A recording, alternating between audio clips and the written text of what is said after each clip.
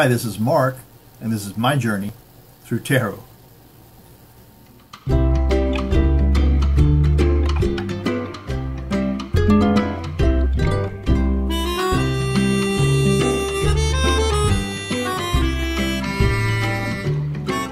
So today I thought we'd talk about Andrew Cuomo, and love these cards. They're nice and colorful, easy to handle. They're a little bit slippery, to be honest.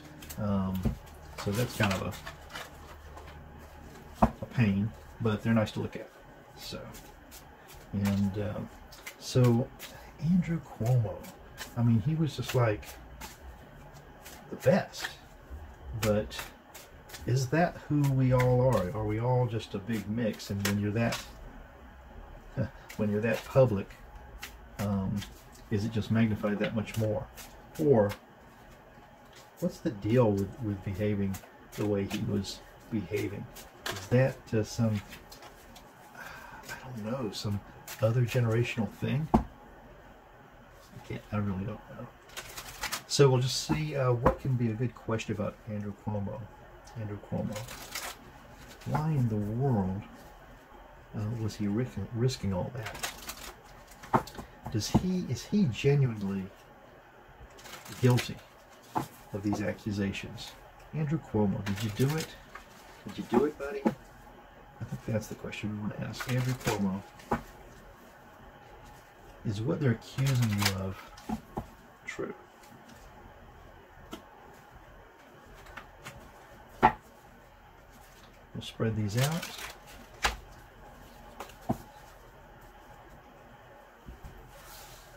Take six right away. One, two, three, four, five, six.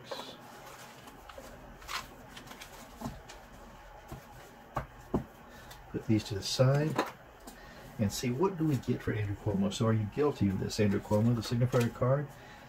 Huh, hold four coins, holding on to what you got. Certainly looks like uh, New York City behind him. Behind him, that's interesting. So the signifier card is the four coins, holding on to what you've got for Are you guilty, Andy? Challenge to that then is going to be seven of coins. Have I done enough? Is there more to uh, take care of here? Or perhaps did I do enough is, is the better question. Um, was I true enough? That's the challenge to trying to hold on. The base of this, then, is the Three of Wands. Making plans, moving on, finding something else. so, he is the governor. The next step would be run for president if he wasn't going to run for governor again. I don't know uh, about term limits or how often you can do that or how long he's even been in. So, um, yeah, Three of Wands are definite long-term plans. And uh, maybe that's what was in his mind after all to run for president.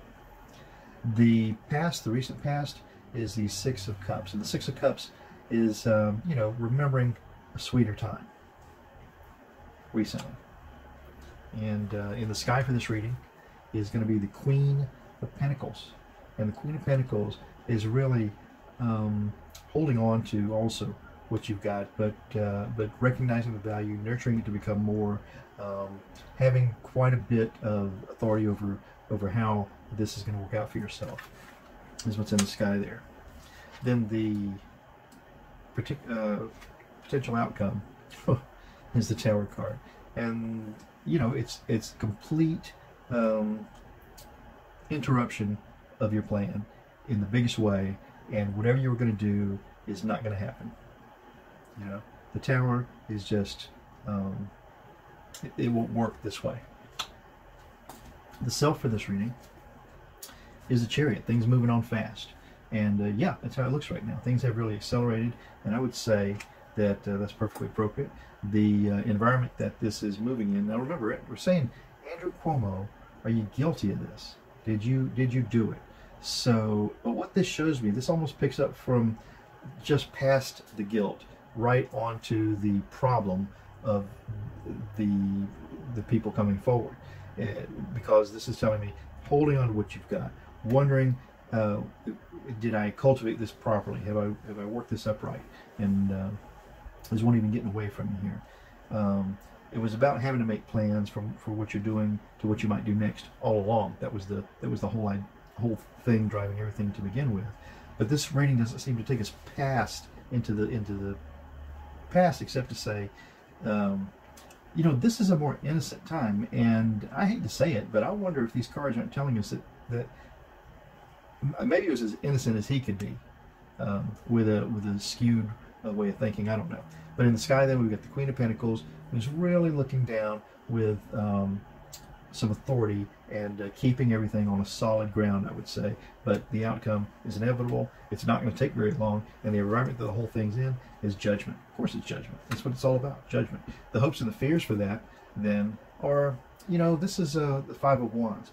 And uh, just an entanglement, a difficulty, um, you know, but that's not something that's not overcomable.